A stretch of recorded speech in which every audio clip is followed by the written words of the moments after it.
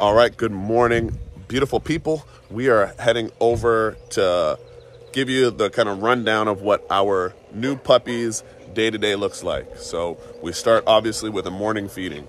So Allie, how old are they now? Four They're four weeks old, um, and we're heading over to our whelping room. Michael didn't tell me that we were filming anything. So she put her best outfit on. I'm not looking the brightest. Uh, but today they've kind of uh, started exploring the outside a little bit more. Um, but we're going to make it a little bit more challenging for them to find their food today. So I am actually just going, instead of straight out from their bunkie, we're going to go right and hope that they can investigate and try to use that nose and find their kibble. So I'm to lay it out. I'm to spread it out a little bit. And what is, uh, why does your kibble look like that, Allie? Oh, it's completely soaked. Uh, not to the point that it doesn't have texture anymore and uh, it's not mush, um, but they're at the stage now where they do have pretty sharp teeth, but they gobble it down really quickly. So it's nice to have something that you're not worried that they're gonna choke.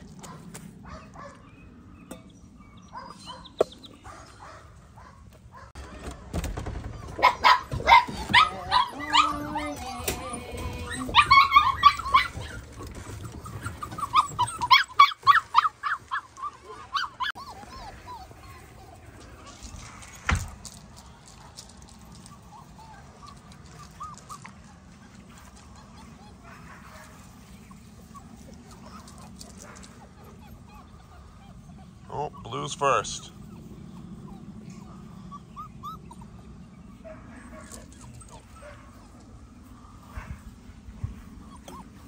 So usually what they do when they come out, like you saw there, is they come out, they potty. Um, first things that we've already established some cues with them, so they hear us at that door and they start barking. Um, it's an anticipatory bark for feeding time. Um, also just interactions with us. So we try and build these pretty quickly, uh, quick responses. Um, there's two food pails out, so these two ranged out the furthest. Um, the rest of them just found the close one. Um, but it's their first time being fed in this location as well.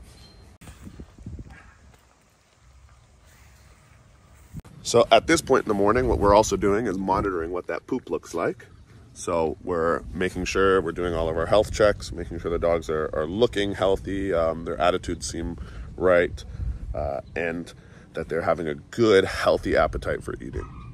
Then our next step while the puppies are out here and kind of exploring, getting some energy out, is to go in and uh, give a deep clean to their whelping area. Holy moly!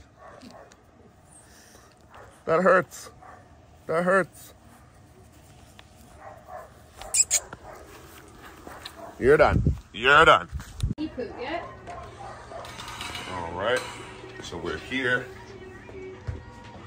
Here's our uh, little whelping area. Allie's just cleaning up now. We got a bed upstairs, some cameras. Ow, my feet are getting chewed on. Ow, ow. This bastard.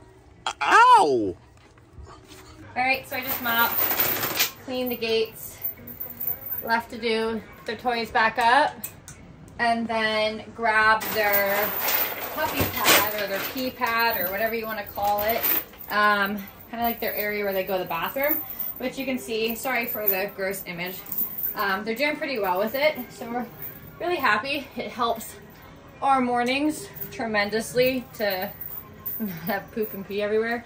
Um, and for those that are asking, oh, are you gonna pee pad them? No, we're just teaching them that pottying in a designated area is better than just peeing and pooping everywhere and anywhere. So Yeah, dirty dogs are gross. It helps with that transition to crating. Um, and like, which is nice is that when they go out in the morning, we're starting to see them go like right away. So um, this is really cool. It's called Smart Paws. We got it off of Amazon.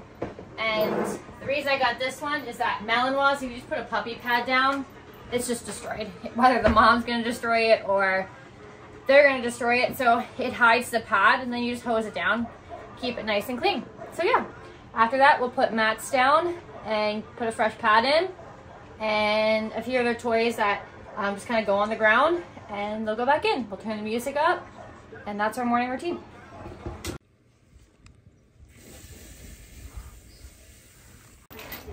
All right, so they're in here now.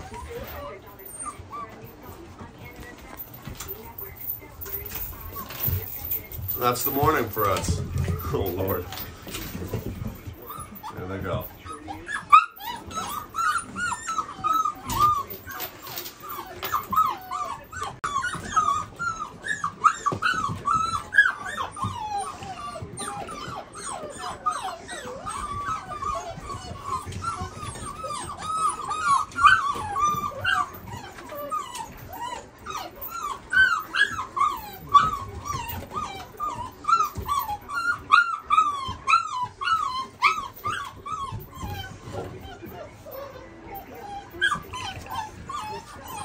All right, Mama Bear is back there. You can see her kind of through the green screen. Um, we're wrapped up now, so to finish, we grab their kibble for lunch. Um, Allie's grabbing the laundry. We'll head over, do laundry, start soaking their kibble for lunch now.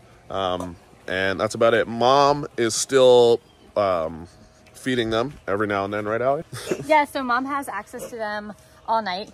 And then throughout the day, um, a little bit after lunch, they'll go for like a run together. Uh, and then they'll go into her play yard that she has that eventually will be just their play yard. And then they'll also see her around dinner time as well. So they get about two to three feedings throughout the day and then access to her all night. Um, Harriet is very involved and she would not like it if she wasn't. Yeah. So that's that. We're gonna wrap this video there. Um, let us know if you would like to see their play yard next.